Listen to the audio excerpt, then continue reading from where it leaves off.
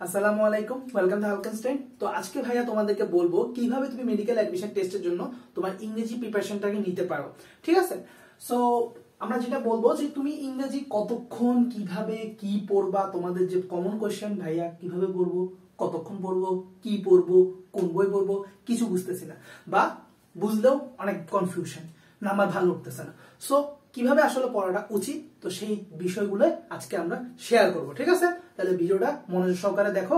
ভাইয়া, যথেষ্ট শর্ট ভাবে ভিডিওটা তোমাদেরকে, সবচেয়ে গুরুত্বপূর্ণ ইনফোগুলো তোমাদেরকে বোঝানোর চেষ্টা করব।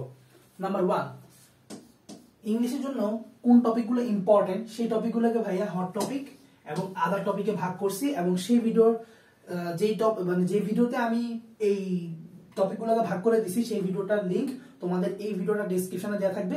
ভিডিওটা শেষ হওয়ার পরে, এই ভিডিও শেষ হওয়ার পরে সেই ভিডিওটা থেকে তোমরা জাস্ট ভিডিওটা ওপেন করে স্ক্রিনশট নিয়ে সেই তোমরা টপিকগুলো দেখে নিতে পারবে, ঠিক আছে? সো সেই প্রিভিয়াস ভিডিও থেকে টপিকগুলো দেখে নিবা। আমি এখানে সমনষ্ট করলাম না টপিকগুলো আবারও লিখে এবং তোমাদেরকে এক্সপ্লেন করে, ঠিক আছে? সময়টা এখানে বাঁচালাম। ওকে এরপর আমরা চলে আসি যে কোন বই পড়বা। নাম্বার ওয়ান তোমাদেরকে অবশ্যই অবশ্যই মেডিকেল এডমিশন টেস্টের জন্য একটা সবচেয়ে হাইলি রিকমেন্ডেড বুক যেটা হচ্ছে এপেক্স এপেক্স শুধুমাত্র যে আসলে মেডিকেল অ্যাডমিশন টেস্টের জন্য পড়া হয় তা কিন্তু না। রেদার এটা বিসিএস ব্যাংক জব বিভিন্ন ধরনের নিয়োগ পরীক্ষার জন্য কিন্তু একটা ইম্পর্টেন্ট বই। কারণ এটা একটা বিশাল লেভেলের একটা কোশ্চেন ব্যাংক বা প্রশ্ন ভান্ডার হিসেবে কাজ করতেছে, ঠিক আছে?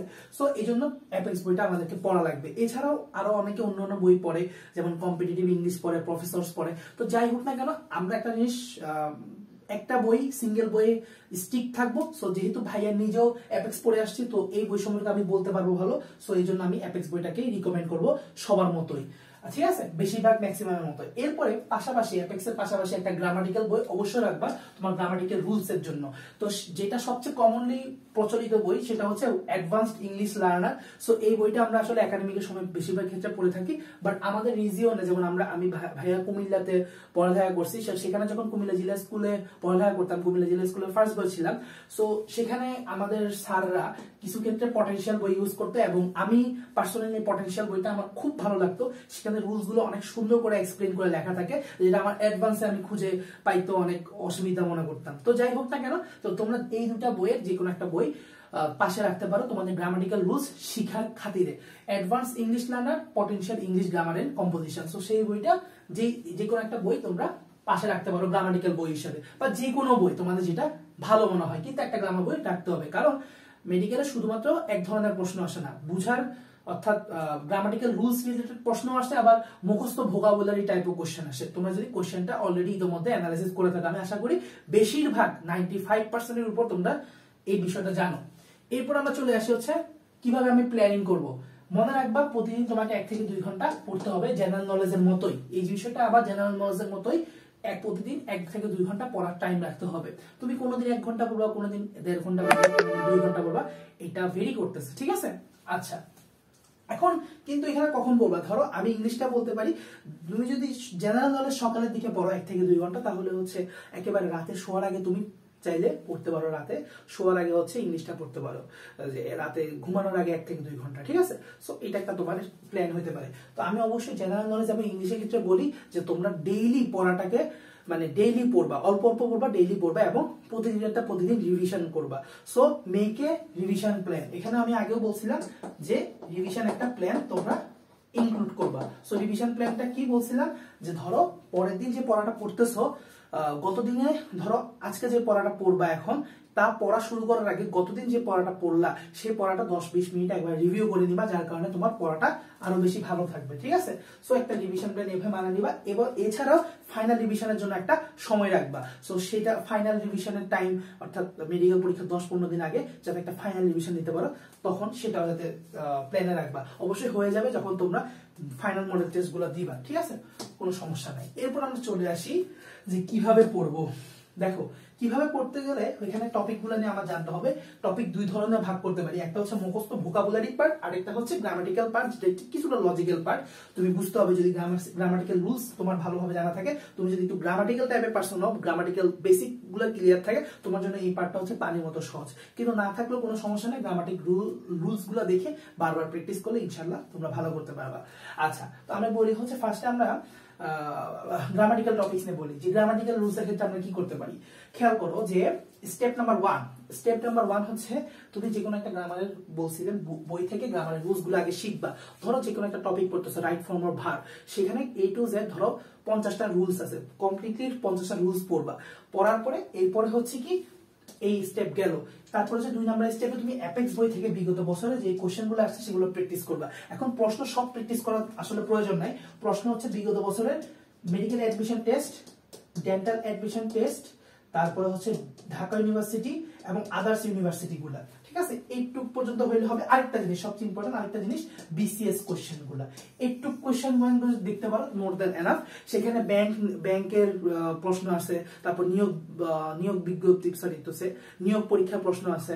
সো অনেক পরীক্ষার প্রশ্ন আছে, ঠিক আছে? সো অত পরীক্ষার প্রশ্ন এগুলো দেখার দরকার নাই। অ্যাডপেক্স বইটা লেখা হয়েছে আসলে অনেক কিছু চিন্তা ভাবনা করে। তো যার কারণে আসলে সেখানে অনেক অনেক ধরনের কোশ্চেন আছে। সো এতগুলো দেখার দরকার না আমি ভাইয়া যেগুলো বললাম সেই রিজিয়নের মধ্যে তোমরা যদি সীমাবদ্ধ থাকো, তাও কিন্তু মোটামুটি হয়ে যায়।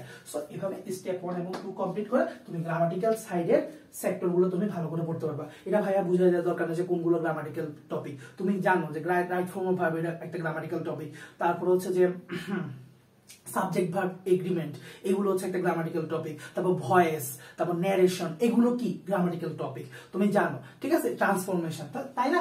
তো এগুলো লেখা, এগুলো আমি টপিকগুলো লিখে দিছি, ওই ভিডিও থেকে দেখে নিবা, ঠিক আছে?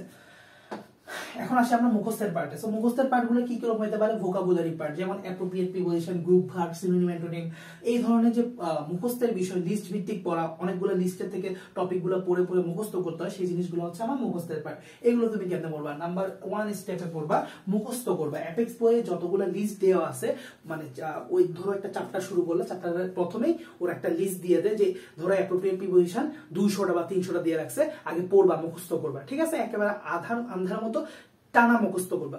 মুখস্থ করা শেষ, মুখস্থ করা শেষে হচ্ছে তুমি স্টেপ নাম্বার টু তে চলে যাবা যে আসলে যে কোশ্চেন ব্যাংক সলভ করা দরকার, এই যে এগুলোর কোশ্চেনগুলা কোশ্চেনগুলা সলভ করে তুমি কত পার্সেন্ট পারতেছো, যেগুলো পারতেছো তুমি দাগায় রাখবা, এগুলো শেষে আবার রিভিশন দিবা যাতে না পারা কোশ্চেনগুলো যাতে আবার পরে দেখতে পারো এবং তোমার যাতে আর ভুল না হয়। ঠিক আছে? সো এই জিনিসগুলো এইভাবে কমপ্লিট করবা। এই যে এখন আমি বললাম যে এক থেকে দুই ঘণ্টা ডেলি পড়বা, এখানে একটা আমি কিন্তু দিয়ে দিই। ধরো তোমার গ্রামাটিক্যাল রুলসগুলো তুমি একেবারে পড়ে শেষ করতে চাও। হ্যাঁ এই ক্ষেত্রে তুমি করতে পারো যে টানা তিন চার দিন পরে ইংলিশের সবগুলো গ্রামাটিক্যাল রুলস এবং গ্রামাটিক্যাল সেগমেন্ট তুমি শেষ করে দিতে পারো। এরপরে হচ্ছে যে প্রতিদিন এক দুই ঘণ্টার যে বিষয়টা আমি রাখতে বলছি, সেটা হচ্ছে শুধুমাত্র মুখস্থ ভিত্তিক টপিকের ক্ষেত্রে রাখলে আসলে বেটার হয়। গ্রামাটিক্যাল রুলস এর জন্য আসলে এই জিনিসটা খাটানোর কোনো আসলে দরকার নাই। টানা তিন চার দিন গ্রাম ইংলিশ পড়ে তোমরা চাইলে হচ্ছে গ্রামাটিক্যাল পার্ট পুরোটা কমপ্লিট দিয়ে ফেলতে পারো। বা আরেকটু বেশি সময় লাগলে সেটাও নিতে পারো। তোমাদের রুটিন ম্যানেজ করে যেভাবে পারো তোমরা সেটা করবা। সো আই গেস আলহামদুলিল্লাহ, আমি কম সময়ের মধ্যে তোমাদেরকে ব্যাপারটা বুঝিয়ে দিতে পারছি যে তুমি ইংলিশের প্রিপারেশনটা কীভাবে সুন্দর মতো স্মুথলি নিতে পারো। সো ভিডিওটা যদি তোমাদের ভালো লেগে থাকে, অবশ্যই হচ্ছে কমেন্টে জানাবা যে, ভাইয়া, ভিডিওটার মাধ্যমে উপকার হয়েছে।